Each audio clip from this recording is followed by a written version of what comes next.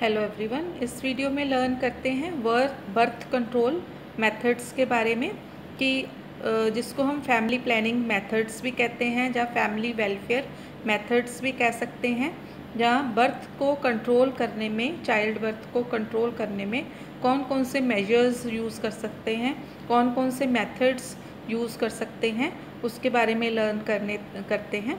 तो mainly five types के होते हैं बर्थ कंट्रोल मेथड्स और ये डिपेंड करते हैं, एक जो पर्सन जिसने यूज़ करने हैं, उसकी हेल्थ के ऊपर डिपेंड करता है रिलेशनशिप स्टेटस के ऊपर डिपेंड करता है लाइफस्टाइल के ऊपर डिपेंड करता है, और रिप्रोडक्टिव प्लान्स जो हैं कपल के, उसके ऊपर चॉइस जो है बर्थ कंट्रोल मेथड्स की, वो डिपेंड करती है। तो सबसे पहले देखते हैं, इसमें फाइव टाइप्स कौन कौन सी हैं? एक तो है स्टरलाइजेशन मेथड्स सेकंड है लॉन्ग एक्टिंग मेथड्स, थर्ड है शॉर्ट एक्टिंग मेथड्स, फोर्थ है बैरियर मेथड्स और फिफ्थ है नेचुरल रिदम मेथड्स। और इनका इफ़ेक्ट जो होता है, वो सबसे पहले जो स्टरलाइजेशन मेथड्स हैं, उनका इफ़ेक्ट ज़्यादा होता है और लॉन्ग एक्टिंग मेथड्स जो हैं, उनका भी इफ़ेक्ट ज़्यादा होता है। ये अबाउट होता है 90 टू 99 परसेंट। जो शॉर्ट एक्टिंग मेथड्स हैं, इनका इफ़ेक्ट होता है eighty four to ninety one percent और जो बैरियर मेथड्स हैं, इनका इफ़ेक्ट होता है seventy one to eighty six percent और जो नेचुरल रिदम मेथड्स हैं, इनका इफ़ेक्ट होता है seventy five to seventy eight percent अब देखते हैं कि स्टरलाइजेशन मेथड्स जो हैं, उसके अंडर क्या क्या कौन कौन से मेथड्स हैं। तो स्टरलाइजेशन मेथड्स जो हैं, वो परमानेंट मेथड्स हैं फैमिली प्लानिंग के या बर्थ कंट्रोल के। इसमें दो आ जाते हैं tubal ligation and male vasectomy तो जो ट्यूबल लाइगेशन है, ये फीमेल्स में प्रोसीजर परफॉर्म किया जाता है और इसको ट्यूबेक्टमी भी कहा जाता है।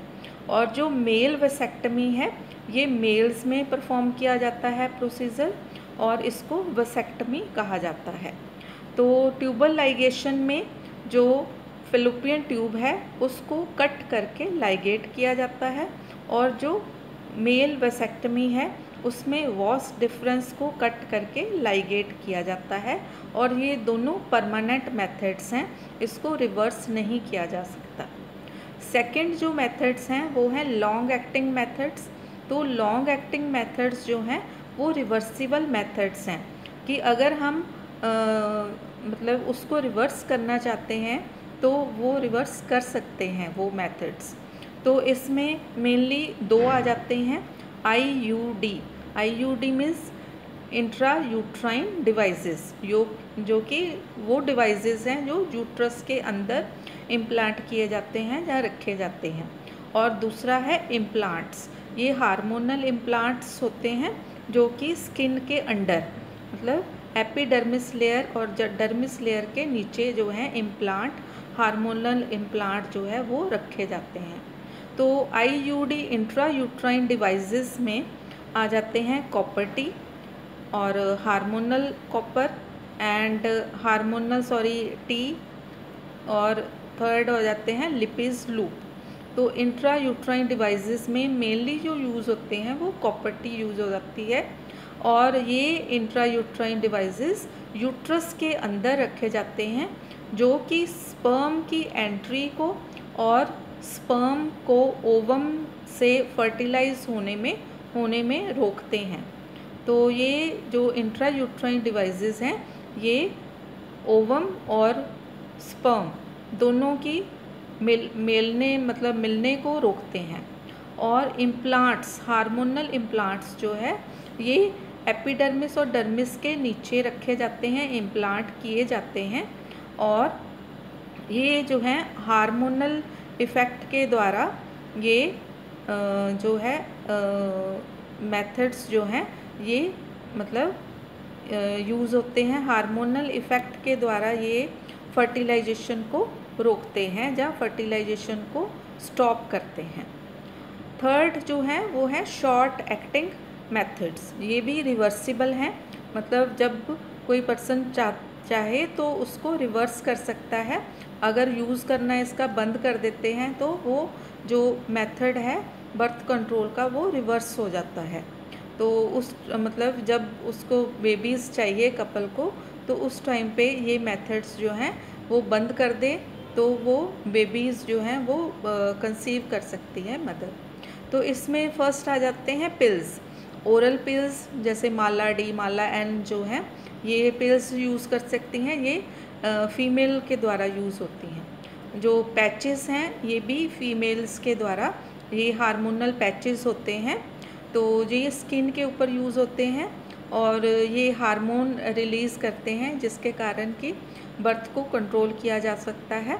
और थर्ड है इसमें शॉट्स जो मतलब कि इंजेक्शंस दिए जाते हैं तो ये इंजेक्शंस जो हैं, ये भी हार्मोनल इंजेक्शंस होते हैं और ये भी बर्थ कंट्रोल करते हैं और उसके बाद है रिंग्स तो ये रिंग्स जो हैं वेजाइनल रिंग्स जो हैं, ये भी फीमेल्स के द्वारा यूज़ होते हैं. ये सारे मेथड्स जो हैं पिल्स पैचेस शॉर्ट्स रिंग्स ये फीमेल्स के द्वारा यूज़ होते हैं और ये बर्थ कंट्रोल करने में हेल्प करते हैं।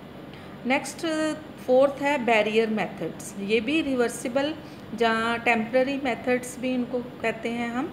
रिवर्सिबल मेथड्स या फिर टेम्प्ररी मेथड्स तो इसमें कॉन्डम्स सबसे पहले आ जाते हैं। कॉन्डम्स दो तरह के होते हैं male condom and female condom तो मेल कॉन्डम जो है मेल पर्सन के द्वारा यूज़ होता है और जो फीमेल कॉन्डम है, वो फीमेल पर्सन के द्वारा यूज़ होता है। उसके बाद जो डायाफ्राम है डायाफ्राम फीमेल्स का ही आता है सिर्फ़, और ये वेजाइनल डायाफ्राम भी बोलते हैं। ये भी स्पर्म को अंदर एंट्री करने में रोकता है। स्पंजेस जो हैं, ये भी फीमेल्स में यूज़ होते हैं वेजाइनल स्पंजेस और ये भी स्पर्म की एंट्री को रोकते हैं। उसके बाद है सर्वाइकल कप्स ये ये भी फीमेल्स में यूज़ होते हैं, और ये भी स्पर्म की एंट्री को रोकते हैं। उसके बाद लास्ट फाइव फिफ्थ जो आ जाता है, वो है नेचुरल रिदम मेथड्स ये भी रिवर्सिबल मेथड्स हैं या टेम्प्रेरी मेथड्स हैं. इसमें दो तरह के आ जाते हैं methods natural family planning and withdrawal तो नेचुरल फैमिली प्लानिंग में जो कैलेंडर के अकॉर्डिंग इसको हम सेफ़ मेथड भी कहते हैं. तो कैलेंडर के अकॉर्डिंग अगर, उस टाइम पे ओवुलेशन के टाइम पे अगर जो पर्सनस हैं, जो कपल है इंटरकोर्स नहीं करता है, या सेक्स नहीं करता है तो वो आ जाता है नेचुरल फैमिली प्लानिंग मेथड्स में जहाँ सेफ़ मेथड में। और विदड्रॉल का मतलब है कि इंटरकोर्स के टाइम इंटरकोर्स करते समय या सेक्स करते समय जो मेल पर्सन है, अगर अपना पीनस विदड्रॉ कर लेता है स्पर्म रिलीज़ करने से पहले तो उसको हम कहते हैं विदड्रॉल मेथड तो ये भी नेचुरल रिदम मेथड्स हैं। तो ये मेनली फोर फाइव टाइप्स के हो गए birth control methods sterilization method जो कि परमानेंट मेथड्स हैं।